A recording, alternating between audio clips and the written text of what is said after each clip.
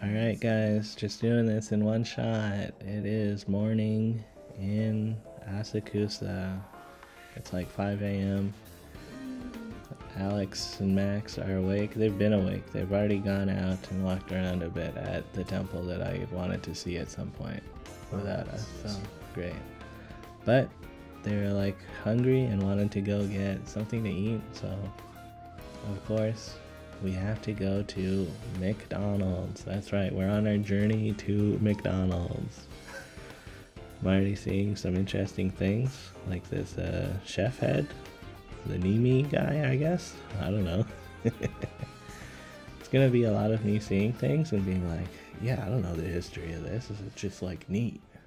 so, anyways, McDonald's yeah, you know, this has uh, been hyped up as being better than American McDonald's, and they have a Detective Conan special item right now, so that's good. Yeah, I've I've seen the show, and uh, yeah, overall, pretty good sandwich, pretty good hash brown. The hash brown felt extra greasy, and the sandwich I liked that the bun was accurate to the picture. The meat felt like a meteor in a way. Like this is chicken, and I guess it's just not blended up like I'm used to. Chicken being completely blended into a patty. But yeah, kind of cool. Anyways, just walking by, here's a random shrine I saw. And like, yeah, this is neat. You can uh, pause and read that if you want. I didn't really read it, I just took a picture. Maybe I'll read it later. Anyways, we're keeping on walking around. Everybody else is awake now. They've come and they've met us on the street. Uh, yeah, Max trying a tomato lemonade, which is apparently better than it should be. So yeah, we're deciding what we're gonna do, and uh, we've gone back to the hotel just to like, I don't know, take care of something. But it, here's a shot of the uh, the beds. Kind of neat how it's set up with like a bunch of bunk beds. It's just a, a true bedroom. Anyways, I'm uh, hanging with Adam, Don, and Julie, and we're going to go to the temple that uh, Alex and Max have already checked out. And they've split off. They're gonna go do something else. I don't know. We're trying out the 7-Eleven. It was neat. Oh, some gachapons just on the street. Yeah, done. Getting one for Amy. This is what it's gonna be, Amy. This is a puffin thing. Julie also got one. It was like a secret animal underneath of a cat helmet, and then when you open it, you get to see what the animal was. Kind of a weird thing, but neat. So yeah, walking towards the temple. Here is one of the thunder gates. It's got uh, some cool guys standing on either side, kind of cool. And uh, it's not too busy, so that's kind of nice.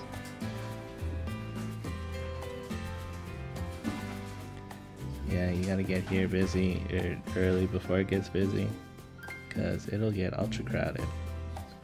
But uh, part of the problem is, you know, nothing's open now, so it's not like, oh well. But I mean, I don't know. I still need to see the streetscapes and stuff. So yeah, making our way closer to the temple. Go through another gate, and uh, yeah, you know, people taking their pictures and stuff. Got like an incense burning thing going on. That's kind of cool.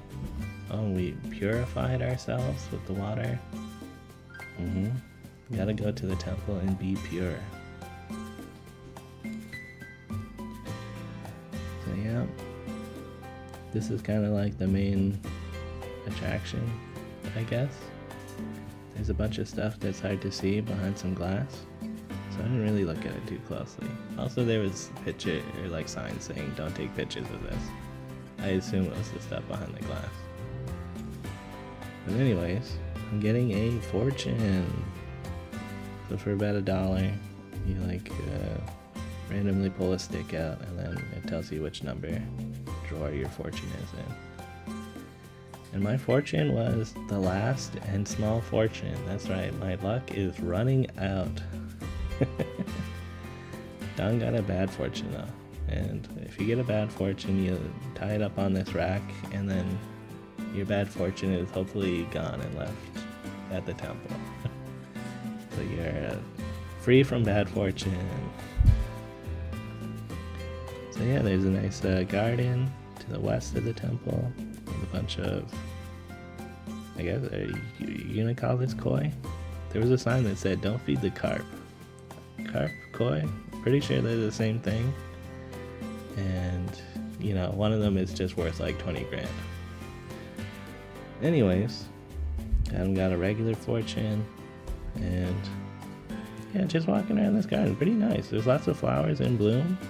No, they're not cherry blossoms, but still good bloomage going on here. And uh, Max and Alex have met up with us again, and they're getting some fortunes. Alex, you know, classic Alex, he has gotten the best fortune. That's good. Yeah, Julie and Max, I think they both got regular fortune, which is like, I mean, you can't complain about regular fortune, right? so yeah, walking around, here's a neat statue, which I tried to pose like the statue. Well, pretty good job. Yeah. So uh, yeah, just lots of walking around this area. Every now and again, going into one of the covered arcade areas. Most of these shops are not open, but there was one that was selling like ice cream, some matcha ice cream or vanilla ice cream. It was good. I tried a little piece of it. it nice. So yeah, there's a bunch of stores along these streets, and yeah, I was uh, I wanted to go to Don Quixote. I think that's coming up in this section. Yeah. Here's the Asakusa Don Quixote, which is kind of a famous store. Famous for being crazy and full of everything, and like speakers that just not stop playing stuff that just like it's an overload in this store. They've immediately found the sunscreen that everybody likes. And uh, yeah, I'm going up to the second floor now. The first floor mostly seemed like snacks. So I'm like, just looking at all the stuff. Got a bunch of stickers, some ninja stars. Mmm. Who knows what you're gonna find in Don Quixote? Well, I guess actually uh, one of the things that I'm kind of keeping my eyes out for is nail clippers.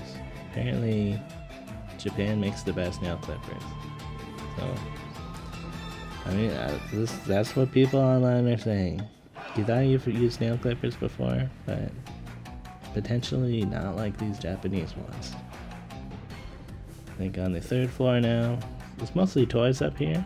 I had a bunch of Nintendo stuff, of course, and got some Studio Ghibli dioramas here. When the parents eat all that food and they become pigs. It's an interesting choice. Oh yeah, and there's some um, interesting costumes. Woo! Yeah. Oh, over here they have some jinbeis, which is a it's like a traditional shirt and shorts that uh, I've been kind of looking out for. I kind of want to get a jinbei for myself. Also, yo, they just got tangas out here. Interesting. yeah. So, anyways, I think uh, at this point, Don and Julie have gone off to do a tea ceremony thing that they've uh, scheduled. I'm continuing to just go around and look at everything. I've uh, picked out a couple things. I got the uh, Seki nail clipper as well as some uh, Shiba Inu patches. That'll be neat. And I thought it was going to be tax free, but it wasn't because I didn't spend enough. You had to spend at least 50,000 yen. So about 50 bucks. Then we got some uh, beef bowls. I forget what these are actually like gyudon, something like that. But yeah, it's basically beef on rice. And um, yeah, pretty good. Uh, apparently a classic. just eat food kind of meal. So yeah, going around, saw a store with a bunch of neat jackets, and I was like, whoa, cool. And then I saw that they were like $250, and I was like, alright, see you later. And uh, kind of heading back towards the temple, saw some Shiba Inus, very cute. And it's probably closer to 11 now, and it has become jam packed. And it's probably not even like fully jam packed, but it was crazy there. I also looked at a don't another store. Sometimes it's kind of awkward trying to like look at traditional clothing because I don't know what I'm doing, guys. but gotta look, I guess. Maybe I'll find something. Yeah. And uh, we went to the visitor center, which is like kind of a cultural information center, apparently. Although, if you're just here to browse, it's not that great of an experience. But on the rooftop, they have a viewing deck, so you get a nice uh, view of the temple and you know the surrounding area. It looks north and northeast mostly. But uh, yeah, you go down the stairs. You know, there's another little viewport that you can poke your camera through. But then they they have displays and stuff but it I don't know. There wasn't much English. But I could have translated it. It was just like, what are we doing here? You know. The video was kind of neat of like some of the ceremonies or whatever is going on, but uh, yeah. So after that, we went over to this like river path. We're gonna do a bit of a walk along the river. Yeah, got a trash barge going by. Well, maybe it's not going to be a trash barge, but I mean, it's a barge. I'm pretty sure they usually put trash on those. So, yeah, Riverwalk was neat. Going back into the town, I guess. And uh, yeah, saw online there's a department store here that has more rooftop access. So it's like, yeah, let's check out this rooftop. And uh, yeah, it's pretty nice up here. Lots of room, not many people. You can just come up here and chill out. You can see that uh, golden flame and the Tokyo Sky Tower. There's even a washroom up here, which was like very clean and like yeah, it was just a good washroom up here. So yeah, we hung out up here for a little bit and oh yeah, there's also a little shrine some Inari, I guess. You know, the fox spirits. Guys, I'm sorry this episode is so long. Everyone is just hanging out in the hotel trying to not make noise while I'm recording this. Sorry, everyone. But uh, yeah, while the other guys are chilling out, I wanted to go and look at stuff. And I uh, stamped my passport with this uh, Furin stamp. I gotta get a new passport in like a couple of years, so I was like, fuck it, I might as well start stamping random shit in here. so they had uh, two levels of clothing, and it was all like Western style clothing. Like, that's not what I'm here for. You know, it's like I can buy that kind of stuff anywhere. I want some of this traditional garb. So went into a place. This is the first place that asked me to take off my shoes before going in. And they helped me like shop and stuff and it was very awkward and I was like, oh god, this is too much. but I did try on a jinbei that they had and it was kind of neat. Honestly, the texture of the cloth was like scratchy and not very comfortable. uh, but anyways, we've met up with everybody again, and we're hanging out. They showed us some pictures of the tea ceremony. Looked cool. And um, yeah, just looking at some of the manga that's around. Yeah. R.I.P. Toriyama. Anyways, since we're here, gotta show uh, Julian down the rooftop. Do a little impromptu rooftop dance party. What a time. Flew across half the world to hang out at a department store, but I mean, you know, it's that's just we're just experiencing some everyday life. Anyways, we uh, got a ticket to Akihabara. That's right, we're gonna go to Electric Town. Gonna see what's going on over here. This is uh, the neighborhood that all the gamers talk about. So this has been kind of hyped up over years of listening to Giant Bomb and former EGM editors. They'd talk about their trips to Japan and how they would go to Super Potato and the arcades in the area and be like, whoa, it's so crazy here. But uh, unfortunately, you know, it's kind of become a tourist town, and like if you're actually looking for something, you'll probably find it, but it's gonna be like three times the price that you would want to pay. But uh, oh well.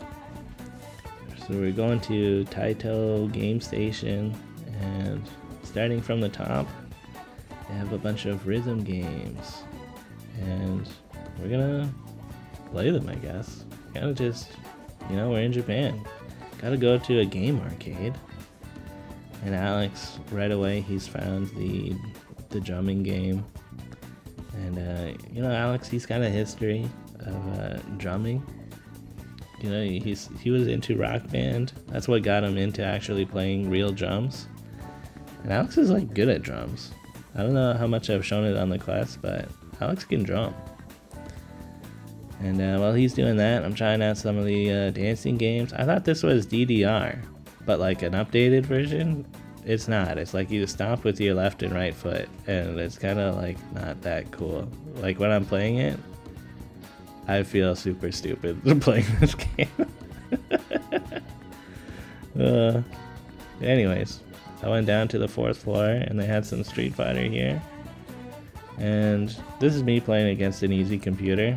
I thought that like with this setup, it was like you play the person on the other side, and it might be like that because at one point it did say a new challenger person was fighting against me, and it felt like not a computer, but it might have just been a good computer. It's hard to tell. I don't know what's going on here. Either way, I got my ass kicked, and I'm moving on. Alex, he's getting some crazy combos. He's uh, feeling it. And then I, I did see the actual DDR and I played some Megalovania. And I put the difficulty on too low and it was kind of boring. But you get like three plays. So then I turned it up to a harder difficulty and lost immediately. so yeah, that's uh that's that's just gaming, I guess. And uh, on the lower levels, it seems like it's mostly cloud games and yeah, this this is the last Rock Lee figure, so I'm like, Julie, you gotta try. And uh, immediately kind of effed it up because this is the kind of game where it's like you press the button and hold it once. Once you release it, you cannot move it anymore. So a little bit of a scam, but F it, we tried again anyways. And then another scam, it is so weak to grab. But this is how they get you. It's like you knocked it over a little bit, and it makes you feel like, oh, it's right on the edge. We could probably get it if we just play more. So this is where we stop playing. Anyways, back down to the ground floor, and then it turns out there's also a basement floor, and this is where the Mario arcade cabinets are. And uh, people were playing Mario, so we were, we were waiting and uh, haven't played this drum game. And once they left, it was Mario time, so.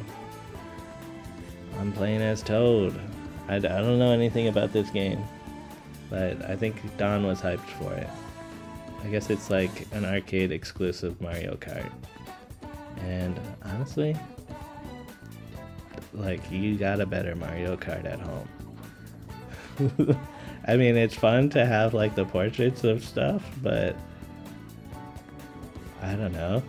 it was neat, I guess. Sorry. Uh, anyways, Adam and uh, Max seem like they're having a good time with this drumming game. They've uh, put the difficulty up a bit, and it looks fun. You know, you're drumming away there. They were like pretty decent at it too. Then I think we're all hungry. Oh, I guess we probably went to Super Potato before we ate. Yeah, that's Super Potato. This is the legendary store. And honestly, kind of a disappointment for me. I mean, I didn't really have anything in mind that I was super looking for. I guess I'm kind of looking for a new 3DS. But all the prices on stuff are kind of high, and it's like, I don't really want to pay 50 bucks for uh, a 64 game. It is neat to look at the stuff though. Like, you can pretty much touch a bunch of this stuff. Even if it's not for sale, like this Rob. It's alright if you want to touch it a little bit. I think. I mean, they'd put it behind glass if they didn't think people were gonna touch it. Or if they didn't want you to touch it. Because we're gonna touch it. Anyways, that's the new 3DS that I'm looking for. That's the price to beat. $350. Which I feel like hopefully I can find something better. Yeah, and then on the top floor it was just a bunch of uh, arcades again. I think now we're all hungry and we're gonna like go eat something. We got ramen. They had a picture that was like, "Don't take pictures," so that was it for the ramen visit. It was good, and uh, honestly, my ramen review, you're getting just as good an experience at home as you are in Japan. Uh, I mean, if you're going to a real place, they're doing it good. Turns out, pretty authentic at home. And uh, I mean, it was good here too. So, sorry I kind of just brushed over that, but they didn't want us to film in there, so what can you do? And uh, yeah, now we're checking out the hard offs. I like looking through the junk, but uh, honestly, there wasn't really that much junk. And that was kind of expected that the downtown Tokyo hard offs are pretty picked over, and you're probably not gonna find anything super cool. And also the prices a little bit inflated, better than Super Potato, but you know, eh. Hmm. I'm hoping we can do better. That's kind of the, the dream. Is that you're gonna find that that sick find that you're like, yo, I found this in Japan. But uh, yeah, who knows? They have a bunch of uh, Famicom carts in the junk area, and it is mostly baseball. That's still kind of cool. Part of me is like, oh, maybe you should buy these and then like, you know, make my own labels for uh, some fake games or something. It's like, you know, little things, or make like a a framed display of like all the different colors of uh, thing. Oh yeah, and here's the Hardoff uh, mascot girl. I guess I don't know just neat. So, uh, yeah. Third floor, or maybe this is second floor, I kind of forget. But, uh, yeah, walking around, looking at the hobby off section. There's a bunch of toys up here. Yeah, they got airsoft guns. And airsoft guns are allowed to look very real here. So, I don't know, that's just cool. Who doesn't like a gun, right, guys? Oh yeah, here's a Mega Man uh, Battle Network that uh, Max really thought about getting, but uh, he doesn't have a way to play the actual cart, so he's like, yeah, fuck it, just download a ROM. Which I guess is the other thing about all retro games that anyone would want to play is that you can pretty much download a ROM. So you think the prices would be better, but oh well. We briefly went to Shibuya Station and it was crazy busy in there. So we're walking back to the hotel, which is uh, it was about a 30 minute walk instead of a 20 minute uh, train ride. And uh, yeah, once we got here, we kind of settled down, and then I went to sleep. and I woke up later, but like I don't know.